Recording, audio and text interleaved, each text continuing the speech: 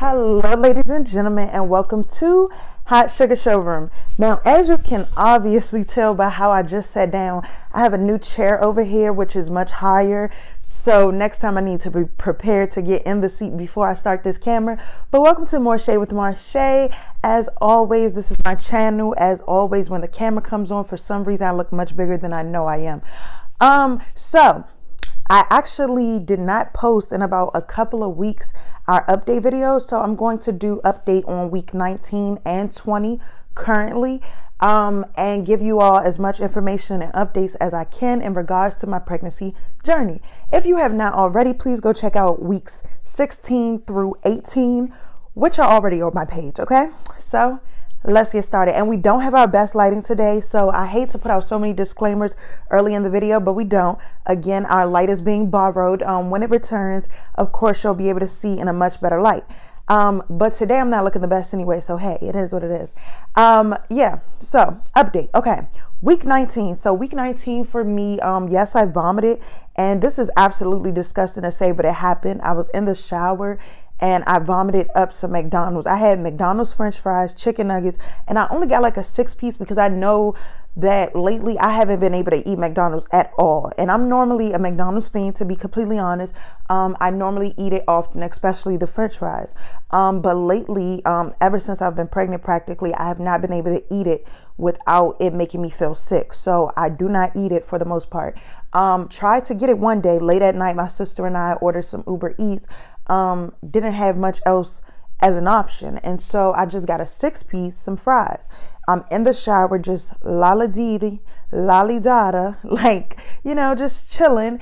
And all of a sudden I start gagging. I knew my chest was feeling tight, but I didn't know why. You know, I knew it was feeling tight. Everything was feeling stiff and like something was stuck, but I wasn't even thinking the fact that I needed to vomit. But I end up vomiting. So, um, as I told you all, the vomiting has stopped as far as like vomiting every evening or afternoon, but occasionally for me in week 19, I still vomited. And I know that week it had to do with, with what I ate because when I ate that McDonald's, that's what came up. So I know it had something to do with that. Um, aside from that, I don't vomit any other day. I do wake up nauseous. I believe I told you all that in week 18 update. I do wake up a bit nauseous. I don't know why, but when I first go to the bathroom, it, it, it does before I even take my prenatal vitamin because that's one of the first things I try to do um, so that I could remember because I do have the shortest memory in the world. And my cousin tried to say I have pregnancy brain, but I already have short term memory. So when I went to the restroom um, that morning, I didn't take my pill yet. I was trying to, but I felt so nauseous. So there was one day when I took the pill and I kind of vomited a bit of phlegm. So me, um, and I think it's because of how much water I tried to um, digest immediately. And my doctor was like, you need to sip slowly. I'm used to like gawking the water down, to be completely honest. And that's not um, the best thing to do right now. So I need to sip slow. So, um, yeah, that part. Um, any changes as far as like, well, family, I'll say this my mother, my grandmother, um, immediate people around me have been making it very known that I cannot lift heavy things or do much of nothing, like everything that I'm used to doing. Um, if you knew me personally, you would understand I'm the person that does it all. Like I call myself the resource center. Nobody knows it, but I call myself the resource center because um, when it comes to so many things in life, whether people need help with the business, like vendors, flyers, like logos, or where to go, who to go, what's the best idea, what to do, how to do it, um, sending resumes, applying for jobs, like stuff that I don't even have a nine to five job, but um, there's so many things that you know people call me for, and I'm normally able to help with. And so, not just things that require you being on your phone, on the computer, etc but things that also include like lifting things. I'm so used to my cousin was having an event and um, she needed some chairs. I'm so used to lifting all of the chairs myself to take to my car to take places. Um, there were about 10 chairs. My grandmother would, ref- she was refusing to allow me to take the chairs to my car. Um, so we had someone help. Um, and I really didn't, I took them back to her home alone inside the house, but um, she wouldn't let me do much work with the chairs. So them being in and out my house, I made sure someone else grabbed the chairs. Um, and there's so many different things like that I'm used to just doing alone that now everybody's like, oh, by the time you get big or by the time it's summertime, you're not going to be able to do that. So you better get used to it and you're going to have an attitude and you're going to be hot. They are warning me like, soon as this weather break and it's hot outside, you're going to be irritable. So make sure that you this and this and that. You need somebody to do this and you need somebody to do that. I'm like, okay.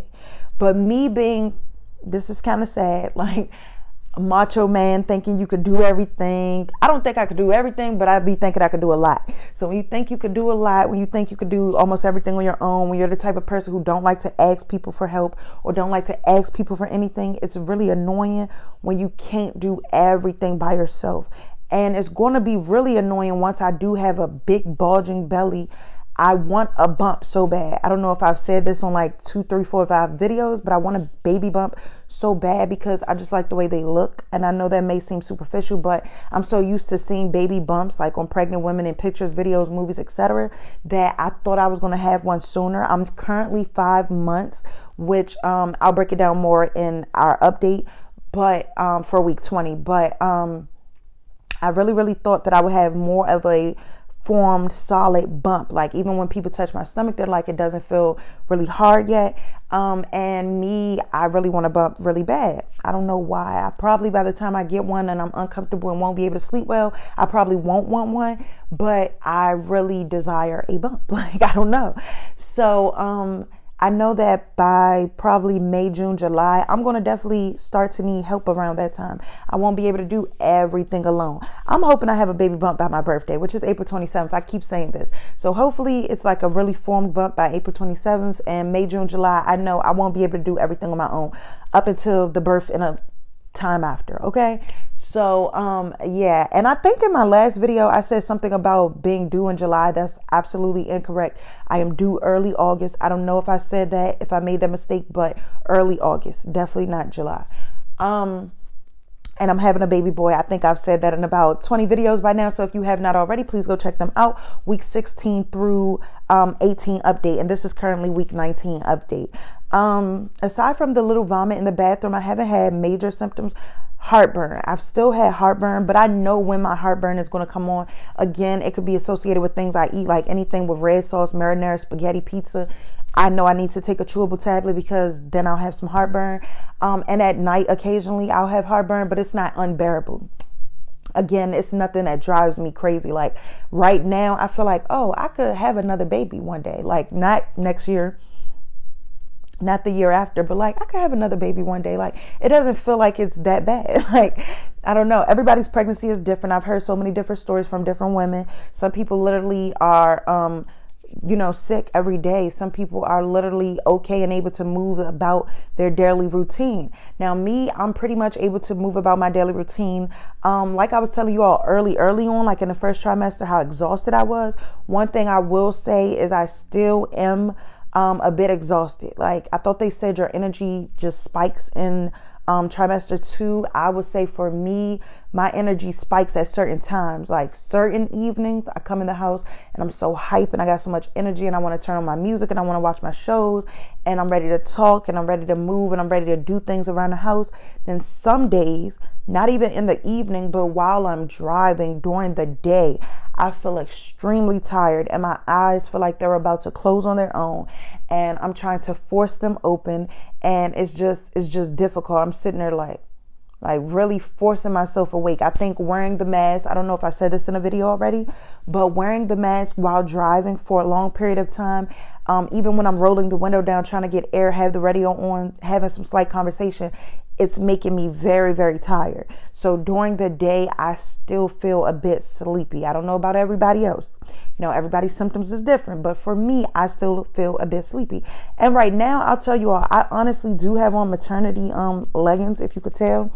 But if you could see they're black, I don't know how much of a stomach you're seeing on camera, but I don't have, you know, much of a bump or much of a stomach. And it's a bit hard to me. I don't know what other people are feeling, but it's not extremely, extremely, um, you know, form like it will be. So we still got time. We're about halfway there. 20 weeks update is coming next so you all will be able to hear everything about my latest ultrasound everything that i was able to do in week 20 etc um, week 19 for me wasn't too bad it was pretty much just like week 18 and the weeks before. Um, so look forward to week 20 updates. Stay tuned. Make sure you like, comment, and subscribe. This is MoreShay with Marshay.